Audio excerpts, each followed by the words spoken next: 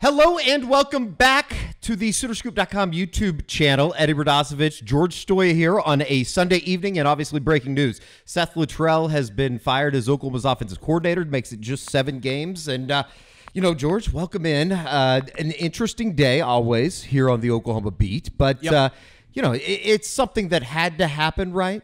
This is a story that you broke on SoonerScoop.com. By the way, real real quick, let's let's get this out there. Get your first seven days off. Soonerscoop.com. We obviously reported on the news earlier. George has already had a hot board up with some names of uh, you know possible replacements. We'll move forward with Joe Jon Finley as the interim offensive coordinator, and then you get seven days for a dollar, and then you also get your first year for fifty percent off. Soonerscoop.com.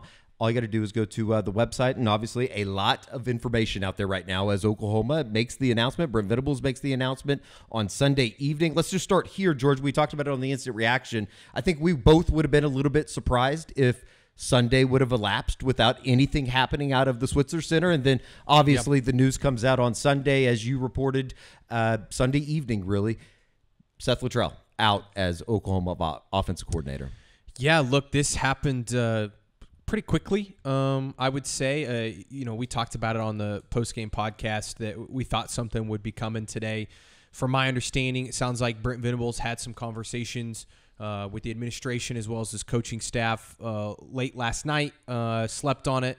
Uh, this morning had some more conversations and uh, ultimately came to the decision that they needed to move on from Seth Littrell. And I, I think that um, you know, a, as an Oklahoma staff and Brent Venables, they'll they'll tell you that this isn't all on Seth. Um, and I know you and I will dive into it. I think that there's a lot of people that have uh, a hand in the issues that Oklahoma has had offensively, but. Uh, someone had to to go down with the ship, so to speak. Um, not to say that others won't eventually. Uh, I think Sure. that you anytime that you have to fire a coordinator mid-season, uh, you have to assume that others might be gone too uh, at some point. That's a, a discussion for another day. But I, they they sat down. They had to decide also, you know, who who's best fit to uh, kind of take this thing over moving forward. Uh, they they landed on Joe Jon Finley as he's somebody that is heavily involved in uh, the game plan and um, you know under you know understanding how to you know, basically move forward with this thing. They're not going to change things uh, completely on offense. Like, don't think that they're going to run out run out there and all of a sudden it's going to be a totally different operation. Uh, but Joe Jon sat in the box this last Saturday. Has obviously worked very closely. Has been a big part of what they're doing offensively. Which some of you are probably like. Shouldn't that mean that he should also be fired or that he shouldn't be the one calling plays? But you can't just fire everybody during the season and just promote people uh, left and right. So um, it makes sense in that sense that he is the co-offensive coordinator. They also promote offensive analyst uh, Kevin Johns, who's the offensive coordinator at Duke last year, uh, as well as the quarterbacks coach. He will now be the co-offensive coordinator, quarterbacks coach for Oklahoma. So he'll be the one working closely with the quarterbacks, which he has been all season. Sure. That has been his primary position. So should be a, a fluid situation. Um, you know, I think that they just thought that that was the easiest way to do this. Uh, and you know, look, I, I think the bottom line, Eddie, is we can get into Brent's comments here in a, Yeah. a minute, but. Uh, it sucks. Uh, It honestly does. I know there's a lot of people out there that are very happy about Seth Littrell being fired, but uh, I, I think Seth's a great guy. Obviously, a, a former national champion, team captain of a national championship team here at Oklahoma, uh, a Sooner for life in a lot of ways. His dad, obviously, a legend uh, around here too. He is a native Oklahoman.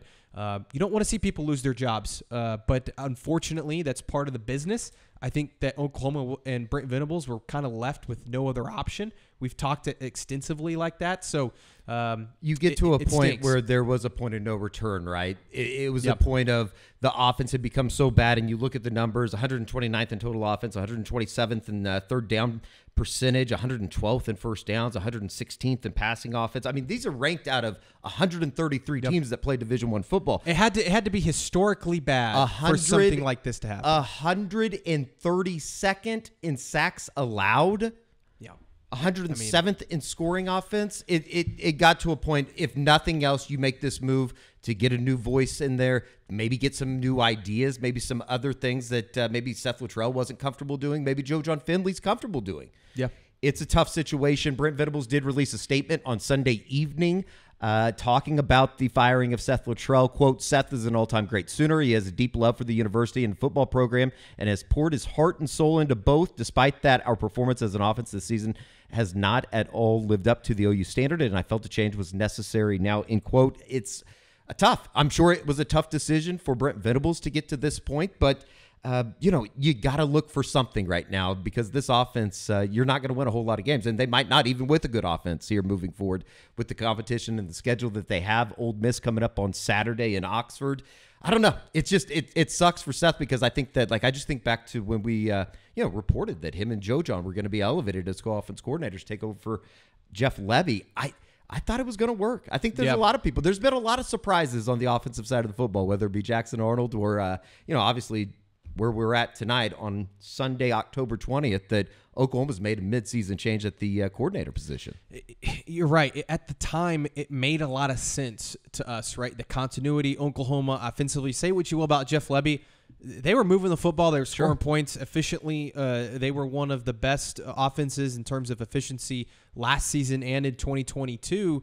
And so you felt like, okay, well, if they could just keep this thing moving in the right direction, there shouldn't be a problem. Sure, there might be some drop off. You've got a lot of different guys coming in, young quarterbacks, new offensive line. Uh, I mean, you couldn't pr- predict what happens at wide receiver, all those things. But I don't think anybody saw this coming. It was going to be this bad. Uh, uh, no one could have predicted that. And and you know, look, I think Seth is still a really good football coach. Uh, it didn't work here, and like I said, it's not all all on him. I think he was dealt a bad hand in a lot of ways in terms of injuries, the offensive line being turned over the way it was, uh, and quickly, and that wasn't really a fault of his own, right? Uh, I mean, we talked extensively about Bill Bedenbaugh on the post game podcast and, and kind of his shortcomings on on that group. Uh, but also, when you watch this team, schematically it wasn't working. What they were putting on the field in terms of getting guys open uh, using plays that, that work uh, development at the quarterback position obviously has been an issue this season no matter who's been back there. So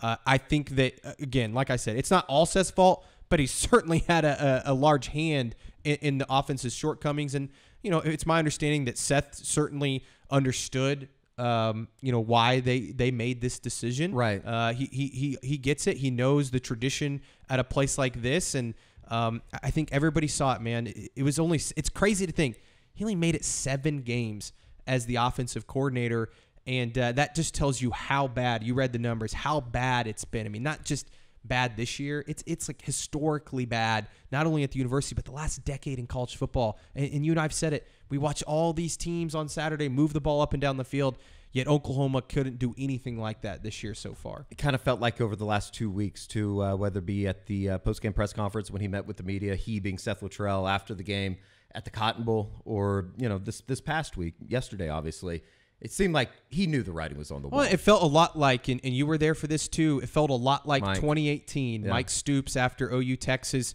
uh, just defeated and, and could see what was coming, and, and there was no stopping it, and, and they knew it. They took, you know, both guys to their credit took a lot of blame. Uh, I mean, Seth after every game this year took a ton of blame, and I know that doesn't make anybody feel better Yeah. out there, but.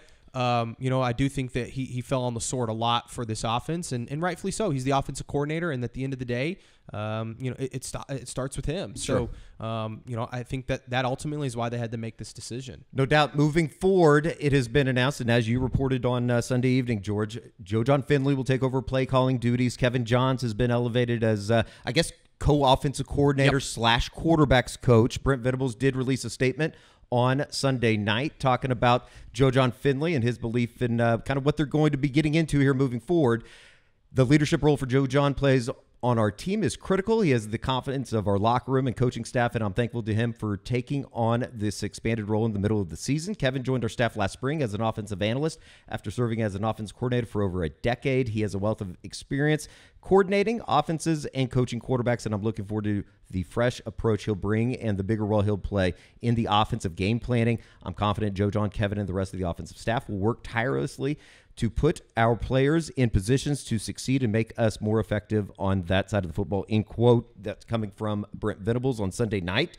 And, you know, I here we go. Like I, I don't think that they're really necessarily, I guess, quote unquote, inheriting something that would be a good product. But like I said, if nothing else, I feel like just a complete overhaul or a new voice in the room. Maybe you can find something. Maybe you can find that spark that they've been looking for over the past seven weeks. and that's why they made this move is that they hope that, look they they realize that this season is certainly not what anybody wanted to be, wanted it to be, but there's still five games left to be played, Sure. and they need some sort of offensive spark. And they've tried damn near everything in terms of personnel wise and uh, on the field, right? In terms of quarterback change, offensive line. I think they've had a dozen different combinations on the offensive line, which is a massive issue. They've played a bunch of younger guys at receiver. Uh, you know, tight end they haven't really done a whole lot uh, to change there, but uh, you've seen them mix up some things. Even scheme wise, they've changed a few things. But I, I think back, Eddie, again to that 2018 season, and I know defense is a little bit d- different than offense, but if you remember when Ruffin McNeill took over, they really simplified a lot of things on Yeah. that defense. They, they, they, they went to a very basic defense, and they still gave up some big plays, and, and it didn't improve a ton. But I do think by changing coordinator, one, players see accountability, right? Sure. That's number one. They see that, hey, look, jobs are on the line. Uh, and then I think that the other thing is, is you're going to see Joe Jon and this offensive staff say, okay, let's let's just let's just do a really simple thing, dumb it down in a lot of ways, uh, and, and see if you can't find some success. I don't think they're going to come out here and all of a sudden run a, a totally different looking offense. I think it's going to be very similar, but uh, I wouldn't be shocked if they get to some very basic plays uh, and just try to survive this thing, try to find some spark, um, you know, down the down the stretch and. It's going to be really interesting, Eddie, what they do at the quarterback position. Uh, if Well, you want to get let's into let's that. talk about it because Yeah. I think that that's kind of the number one question mark right now, right? Who's Yeah. going to be the starting quarterback when Oklahoma plays on Saturday down in Oxford? I think it will be that guy right there, and Jackson Arnold. But I don't know if I could sit here and say I know that for a fact. Obviously, we'll hear a little bit more from uh, Brent Venables coming up on Monday evening at his coach's show. We'll talk to players on Monday night. I really don't know. I- I think that's something that the offensive coordinator has to identify here is who are they going to go with at quarterback? We'll see if Brent gives us any sort of update. Uh, obviously, we'll talk to players tomorrow night. And he Uh, was asked about it after the game. You asked Yeah. him about it. Uh, it seemed like he was pretty mum on what the decision was going to be. Obviously, there was a lot weighing on his mind with this decision today. I think he's going to handle this a little bit differently than he did the first time they made the quarterback switch, where he How flat so? out said, "Well, he flat out and said that week leading up to Tennessee that they were going to give, or not Tennessee, uh, Auburn, that it was going to be Michael Hawkins." Mm-hmm. I wouldn't be shocked if he comes out and says, "Hey, we're just going to evaluate it throughout the week." I Ooh, think a he's little gonna- controversy. throughout Yeah, I think going he's going to keep game. it close to the vest. I think it's going to be Jackson Arnold the way he played on Saturday, um, and, and again Michael Hawkins with the turnovers. It just feels like it- it's going to be Jackson moving forward. Uh, and you know, look, if they do go back to some of the, you know, with Joe Jon taking over, you would expect them to maybe run a little bit closer system to Jeff Lebby Mm-hmm. uh, and what they were doing last year. Not that they weren't doing, they were doing a lot of that already, but I would assume they're going to really lean on that now. Obviously, Jackson's very comfortable in that system. That's what he came to Oklahoma to play in. So it would you would you would think that he fits that system really well. Maybe they have some different packages for Michael Hawkins, but um, it it's not only about who starts this week, but how do they handle it the rest of the way in terms of trying to keep both guys happy. Sure. Uh, trying to see, do you want to try and keep one of them? Do you want to try and keep both of them? I'm sure they would love to keep both guys in the building, but I don't think that uh, that's going to be possible. Um, that's me just speculating. I don't, I don't, you know, really know how it's going to play out. And I think a large part of it, Eddie, everybody wants answers on that right now, just like everybody wants answers on the assistants and who else might lose their job.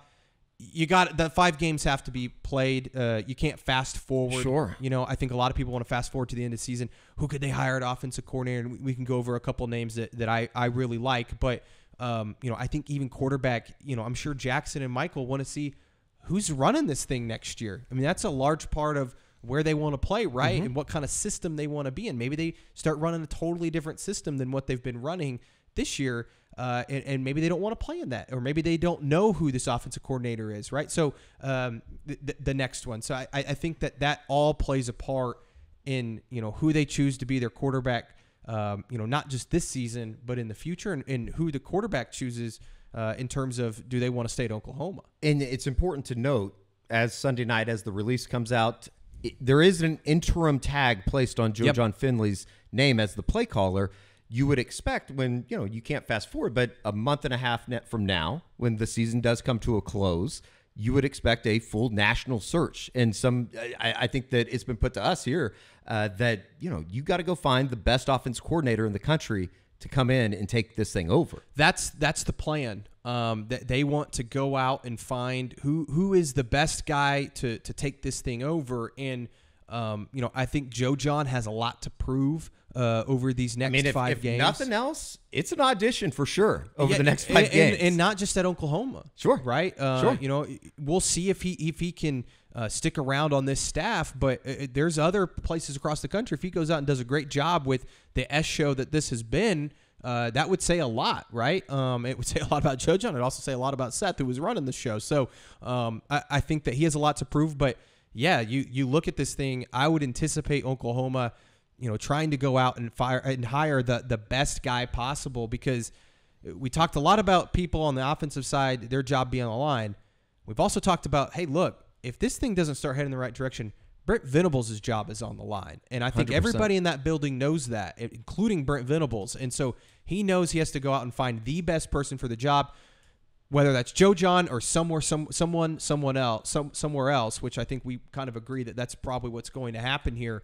Um, you know, who that is, we don't know. I've put up a hot board uh, if we want to get into some of those names, but it, it's going to be interesting to see how that plays out when it does. One thing to keep in note uh, as this thing goes along and, and as the season progresses, last game's November 30th.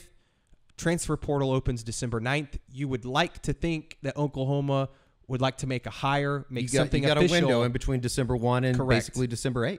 Yes, that you would like to have someone in place that can go out and attack the portal uh, and also recruiting. I, I'm not sure when signing day is. Is it December? I want to say it's the second week of December. yeah, usually. something like that. So December 15 always kind of sticks out to me for some reason. in the- the somewhere se- in that season area. Ends, yeah, season ends November 30th.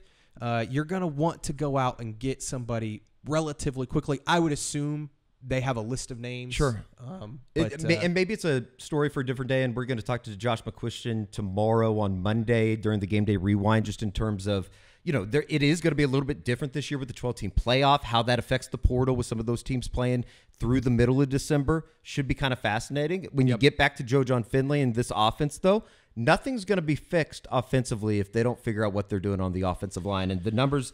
I mean, it is shocking to look down and Oklahoma's 132nd in the country in sacks allowed, coming off of uh, giving up a school record nine on Saturday against South Carolina. It's a it, it boils down or I guess averages out to just over four sacks a game, which for an offense that's struggling, it's pretty obvious you can't play from behind the sticks. that's going to be Joe Jon's number one goal is trying to figure out. Look, he's not going to fix the offensive line. You can't go out and just get new players overnight, but finding some sort of scheme, some sort of plays that can cover up some of the issues that they've had. Now, some of it is just impossible to cover up. It really is. Like you can't just um, you know fix some of those things. But I do think that they could maybe do some different things offensively to help those guys. Whether that's you know more eight man protections in the pocket and things like that. Um, some different sk- uh, schemes in terms of running the football. But um, it, it- that's the number for me, Eddie. That's the number one issue with this offense right now. It wasn't uh, just Seth Littrell and the scheme and the play calling. Uh, the offensive line talent is abysmal right now for Oklahoma, um, and they really, I mean. That's why I mentioned the transfer portal. They're probably going to have to go into the portal and get quite a few guys again on that offensive line, uh, which is is not a great situation to be in. But that's the reality of the situation right now. Yeah, it's it's not good. So you put a couple names out Yep. there. Uh, you did put together a hot board just in terms of I, some of the names are I think well known. Some are probably more well known in uh, the circles that follow this type of stuff. But Ben Arbuckle from Washington State certainly been a name. Yep. You- it's kind of fun to look at some of these names, and obviously not a fun situation. But when you do put together a hot board, it's like okay. You try to start connecting dots, like, oh, this guy's from Wichita Falls. This guy's from like the area, the Yep. region. Maybe he has a connection back to uh, Clemson with Brent Venables and Willy Korn at Liberty. What were some of the names that stuck out to you?